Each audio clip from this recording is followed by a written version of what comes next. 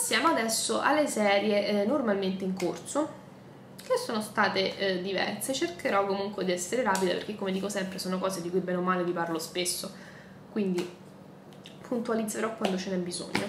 È uscito il secondo numero di After School Charisma di eh, Kumiko Suekane, pubblicato alla GP Publishing a 5,90€ in edizione con sovraccoperta. Manga che io ho preso sulla fiducia perché è pubblicato sulla rivista Ikki in Giappone, che è una rivista da cui eh, ci vengono tratti spesso seinen molto interessanti e particolari, ma questo manga a me proprio non piace. Tutta questa storia dei cloni di personaggi famosi eh, mi risulta priva di mordente, mi risulta sempre anche questo numero eh, pieno di scenette tra questi cloni, in più c'è adesso ci sta la setta della pecora Dolly che dovrebbe essere inquietante, preoccupante, invece a me non fa né caldo né freddo tutto quello che succede. Il protagonista Shiro è completamente privo di spina dorsale, secondo me privo di alcuna attrattiva. E anche un po' il, perso- nuovo personaggio introdotto in questo numero, ho fatto ma chi è questo? Cioè mh, non mi ha dato nessuna nuova emozione, nessuna curiosità sul proseguio della trama. E anche il col- semicolpo di scena che si è visto alla fine ho fatto ah vabbè. Insomma, non mi emoziona per niente, non mi convince, lo trovo piatto, poco convincente. E sinceramente per 5,90€ io non me la sento di continuarlo perché già il primo numero ho detto vabbè vediamo, magari è presentazione dei personaggi, ma continua con questo andazzo, io proprio non, non, ce la faccio, non mi piace, so che a molti è piaciuto, io però non, non, non trovo niente per cui consigliarlo, devo essere sincera, questo è di gusti. Mi ha invece decisamente convinto, anche più del primo numero, il secondo di Bimbogami di eh, Yoshiaki Sukeno, pubblicato a 5,50€ da J-Pop. Questo è uno shonen veramente eh, divertente e anche molto originale come trama, come vi ho accennato l'altra volta. Ichiko è la ragazza più fortunata dell'universo, tanto fortunata che sottrae anche eh, felicità dalle persone che le stanno intorno. Per riportare l'equilibrio sulla Terra, Momiji, che è una, che è una bimbogami, cioè una divinità della sfortuna, viene mandata sulla Terra per cercare di sottrarre energia a Ichiko. Eh, Ichiko non ha nessuna intenzione di farsi, di farsi eh, prendere l'energia senza dire niente e questo scatenerà varie battaglie tra le due a suon delle attività più eh, improponibili. Infatti Momiji eh, si farà aiutare anche le sue bimbogami item, che sono oggetti che compra con i suoi soldi che dovrebbero aiutarla a eh, appunto sottrarre l'energia della felicità a Sakuro.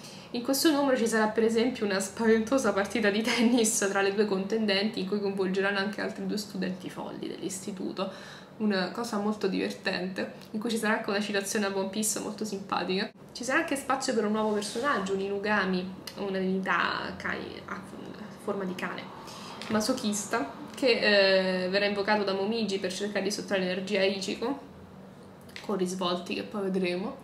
E poi ci sarà anche momento per una parte un po' più di crescita per Ichiko, che eh, si ritroverà eh, piccolina a causa di un oggetto fattole recapitare da Momiji si troverà a vivere delle avventure un po' uh, particolari che la porteranno comunque a riflettere.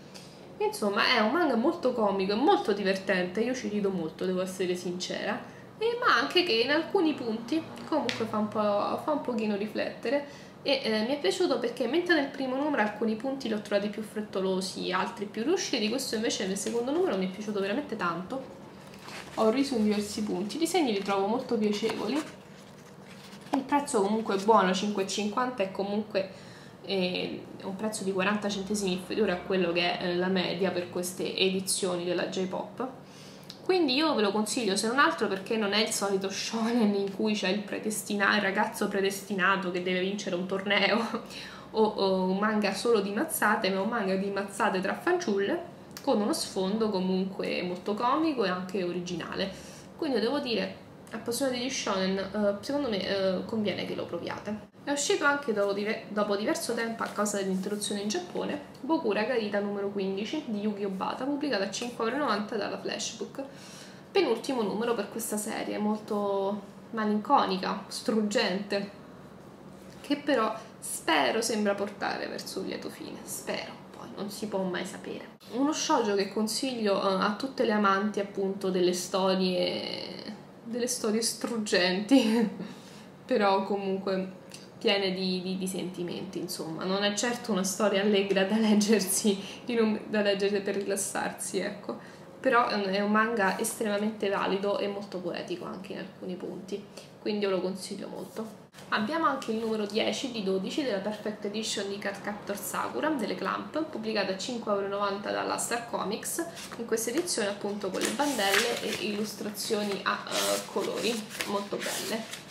Per, per questa storia sempre molto dolce, in cui in questo numero Sakura prende un po' uh, coscienza dei suoi sentimenti per Yukito, si dichiara ci saranno delle conseguenze, ci saranno nuove carte da uh, convertire col suo nuovo potere magico. Una storia che uh, mi fa molto piacere rileggere a distanza di anni dalla prima volta che l'ho comprata, insomma. Abbiamo poi, dopo un bel po' che non usciva, il numero 15 di Ciel di Rim Ju Yeon, pubblicato dalla J-Pop a 6,20 euro. E questo manhwa è coreano, fantasy, che eh, mi piace molto e mi dispiace che venga eh, pubblicato così a singhiozzo perché poi mi scordo un sacco di cose precedenti e quindi faccio un po' fatica a seguire la storia che però mi piace tanto perché spazia dai momenti più slice of life ai momenti più uh, misteriosi ai momenti di combattimento magico puro eh, in una maniera comunque molto leggiadra cioè senza fartelo pesare senza far pesare questi cambi di registro che ci sono.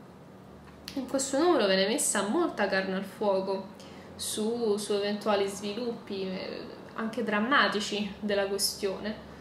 Fatt, viene fatta luce su alcune cose che erano state seminate nei numeri scorsi e mi piace molto, devo dire, è un manual per ragazze comunque molto molto valido. A tutti gli appassionati di fantasy io lo, devo, lo consiglio molto perché soprattutto poi penso che riletto tutto ad un fiato dia un piacere maggiore nella lettura rispetto a questa pubblicazione così i disegni sono un po' spigolosi ma leggiadri al tempo stesso. Molto molto... a me piacciono molto. Devo dire, a tutte le affatto, perché è un, manga, è un manual per ragazze, soprattutto, anche se forse anche qualche maschietto potrebbe apprezzarlo, eh? non lo nego. Un po' un incrocio tra uno slice of life e, e un fantasy, vero e proprio, ma devo dire che eh, lo consiglio molto. Abbiamo poi il numero 21 della Complete Edition di City Hunter, pubblicata a 7,90€ dalla uh, Planet Manga e in questo numero c'è soprattutto una saga che mi è piaciuta molto che riguarda una, una donna che pilota aerei e mi piace perché piano piano il rapporto tra Rio e Kaori evolve sotto sotto, piano piano però cambia sempre qualcosa e poi negli ultimi capitoli si preannuncia una saga molto simpatica in cui Rio e Kaori dovranno badare una bambina molto piccina spuntata da chissà dove che eh, dovranno eh, proteggere. Veramente molto eh, simpatico, divertente, allegro. Mi sto divertendo veramente tantissimo a leggere eh, City Hunter. Abbiamo poi il numero 9 dell'Evergreen Edition di Dragon Ball di Akira Toriyama, che è pubblicata a 4,20€ dalla Star Comics. Questo numero ha concluso ormai la saga del Red Ribbon. Abbiamo Goku e gli altri che si dirigono dalla Sibilla per scoprire dove si trova l'ultima sfera che non riescono a identificare col radar. Qui dovranno affrontare tutta una serie di lottatori messi in campo dalla Sibilla fino al, all'incontro finale. Sempre molto divertente, frizzante, piacevolissimo da leggere e con, con disegni molto carini. E Goku è sempre simpaticissimo anche nel fatto che non riconosce l'ultimo lottatore con cui ha a che fare. Che mi dispiace solo che sapevo chi era perché l'avevo visto dal cartone questa, questa parte. Quindi sempre eh, un ottimo, devo dire, un ottimo acquisto, sono contenta che stiamo ricomprando questa edizione al posto di quella della primissima Star Comics con le pagine che volano in piena libertà. Abbiamo poi il terzo numero di Gate 7 delle Clamp, pubblicato dalla eh, Planet Manga. Io ho preso l'edizione standard a 4,30€ ma eh, c'è anche la deluxe. Allora, manga che eh, non riesco bene a giudicare perché eh, da una parte mette tanta carne al fuoco, è molto misterioso, intrigante, però è anche un gran casino da seguire perché eh, in, questo, in, questo, manga praticamente i vari personaggi sono reincarnazioni di vecchi eh, personaggi che hanno combattuto nel passato, personaggi storici. Quindi c'è una una ressa di nomi che probabilmente per i giapponesi sono nomi comunque noti, eh, per, penso per noi occidentali è una fatica abbastanza assurda starci dietro e in questo uno poi ci sarà proprio molto, molto spazio dedicato proprio agli scontri direttamente e eh, mi dispiace anche perché leggerlo così dilazionato nel tempo in contemporanea mondiale o quasi secondo me ammazza la lettura di questo titolo in una maniera assurda perché forse è uno dei titoli delle clamp meno fruibili in assoluto nell'immediato perlomeno, cioè ah, le clamp hanno fatto titoli molto più semplici da, seguire e da leggere, questo è, è proprio contorto da starci dietro. E questa tempistica appunto di uscite non aiuta. Devo dire che mi intriga molto, mi piace lo, lo stile di disegno che le clamp hanno adottato qui, devo dire che eh, mi piace, lo trovo più, più pulito, meno confusionario, anche i combattimenti insomma non mi dispiacciono. E mi intriga quindi lo continuerò però veramente cioè, non saprei se consigliarlo cioè solo ai fan delle clamp perché per gli altri è veramente un massacro penso da seguire insomma non è semplice. Ho preso poi il secondo numero di Golgo 13 pubblicato a 7,50€ dalla J-Pop in questa bella edizione eh, massiccia. Come ho detto anche l'altra volta non ho preso il box e un po' me ne sono pentita perché comunque mi sta uh, piacendo molto devo dire. Sono tutte storie assolutamente noir, di spionaggio classico sostanzialmente, in cui abbiamo sempre Golgo 13 che interviene in maniera più o meno esplicita, più o meno importante. C'è, in questo volume c'è una storia, be- mi è piaciuto anche più del primo, c'è soprattutto una storia bellissima, molto bella secondo me sul passato di eh, Golgo 13. È una lettura che fa piacere sicuramente a tutti gli appassionati appunto di questo genere di storie e a chi eh, non disdegna le storie di stampo classico. Ovviamente penso che i lettori più giovani potrebbero rimanere spaesati dallo stile di uh, disegno che è molto retro però se vi piace il genere io lo consiglio comunque perché mi sembrano storie veramente di alto livello mi tengono sempre inchiodata comunque alla lettura. Devo dire mi, mi sta piacendo moltissimo. Sono contenta che la J-pop si sia buttata in questa operazione. È uscito anche il numero 3 del bellissimo, io lo adoro, I giorni della sposa di Kaoru Mori, pubblicato a 6 eh, euro dalla J-Pop. A parte l'edizione bellissima con questo cartoncino particolare per la sovraccoperta, la carta ottima, ma è, è meraviglioso. Dopo che già nel secondo numero comunque eh, avevamo la storia di Amira e Carlucca aveva preso una, una piega un po' meno formata da storie autoconclusive, un po' più magari ampia. In questo numero vediamo che il punto di vista in realtà è quello di Smith, il viaggiatore inglese che si trovava con loro che eh, decide di rimettersi in viaggio, come avevamo visto alla fine dello scorso numero, e eh, approda per una serie di vicissitudini una, da una famiglia composta da sole due donne, Talas e le, la sua anziana suocera. Talas è andata in sposa praticamente al figlio maggiore di questa donna che poi è morto e piano piano ha tutti i figli di questa donna che sono tutti morti di malattia, quindi una vedova giovane molto bella. E eh, avremo in questo numero una, praticamente una specie di storia d'amore molto delicata perché anche visto il contesto sociale molto particolare, lì insomma nei, in Asia, e, e, ci sono tutta una serie di vicissitudini, di, di incomprensioni, di famiglie che, che, si intromettono e avremo anche, rivedremo di nuovo anche Amira e Carluc che non è che sono stati lasciati in disparte. Insomma, una storia che va in crescendo, già mi piaceva tantissimo, mi piace ancora di più. Io eh, lo consiglio veramente, veramente tanto, tanto, tanto, tanto, tanto. Un seinen comunque veramente ben fatto, particolare, ambientazione particolare, disegni di un dettaglio pazzesco. Basti vedere solo anche la copertina per, far, per farsi un'idea e io già avevo amato questa autrice con Emma della Lineit e eh, la sto amando anche con questo titolo che, che, mi piace da morire. Mi dispiace che esca molto a rilento in Giappone per la periodicità e quindi esce molto a rilento anche qui. È uscito poi finalmente il numero 2 del professor Layton e i misteri buffi, manga pubblicato dalla Planet Manga a 4,90€. Questo manga è una trasposizione comica che riprende i personaggi appunto dei videogiochi del professor Layton il manga è un po' bruttino, detto proprio in tutta onestà, i disegni sono bruttini, anche le varie scenette comiche non è che siano tutto questo granché, ma io sono profondamente devota a, lei, a Layton, lo amo, cioè mi piace morire. I giochi li ho divorati tutti e, e quindi prendo anche questo proprio per amore della saga, ma lo consiglierei solo ai fan eh, estremisti come me. Ecco, devo dire che in questo numero a un certo punto c'è una presa in giro del terzo gioco, il, futuro, il professor Layton il futuro perduto.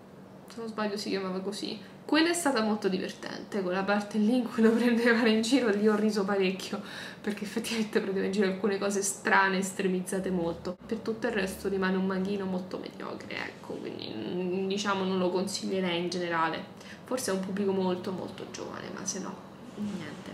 Abbiamo poi il numero 4 per la divertente commedia Io sono Toshiro di Royuki Nishimori, pubblicato a 4,50€ dalla Goen. Sempre più eh, divertente, il nostro eh, gruppetto di eh, amici si ritrova ora, dopo i problemi causati nella, scorsa, nella vecchia scuola, si trova in una nuova scuola piena di teppisti, dove vige la legge del più forte e dove eh, il nostro Toshiro, vestito sempre da samurai e tutti gli altri, si riusciranno in qualche modo a inserire in maniera molto particolare. La cosa che mi fa morire di questo manga è che Kensuke, che è il ragazzo normale del gruppo che è stato trascinato da Dushiro in tutto questo e per una serie di circostanze letto a capo, Kensuke è un ragazzo molto stressato.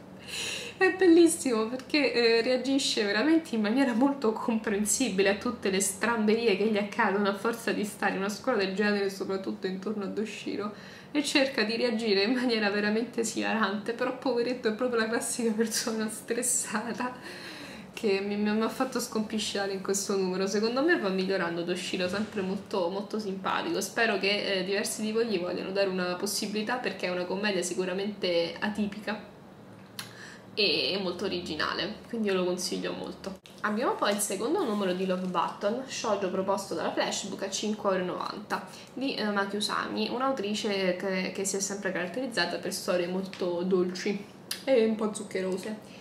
Questo, questo manga mantiene sempre la dolcezza tipica di, di questa autrice, però lo, lo, condisce con un protagonista tendente al sadico verso la ehm, verso la ragazza di turno e questo rende il manga divertente e frizzante in alcuni punti, devo dire, seppur molto dolce. In questo numero continua la relazione di prova tra Koga e Mina, in maniera sempre un po' tra equivoci, piccoli bisticci, tra lui che la mette sempre in difficoltà di proposito per bullarsi di lei e lei che insomma ci, ci rimane un po' sempre spiazzata. Mi è piaciuto anche che in questo numero si, eh, si crea una situazione abbastanza tipica da shoujo, che però l'autrice poi riesce a risolvere in maniera molto dolce ma divertente al tempo stesso, senza morbosità, come poteva sembrare. A un certo punto ho fatto no, ma che davvero. E invece poi mi, mi ha un po' stupito. Devo dire che il personaggio viene presentato alla fine del volume, bisogna vedere che sviluppi avrà sulla storia, spero non troppo banali, ma insomma, visti i primi due numeri sono, sono positiva per il, per il futuro, insomma. E appunto, è uno shoujo della categoria molto dolci, però con quel, secondo me con quel pizzico in più che lo regge sopra la media, e a me fanno morire proprio i riassuntini umoristici che stanno sul retro per, per raccontare la trama, appunto sono molto simpatici. E quindi se siete appassionate di shoujo, perché è soprattutto per ragazze comunque, questo eh, consiglio di dargli una eh, possibilità veramente, perché lo trovo molto delicato.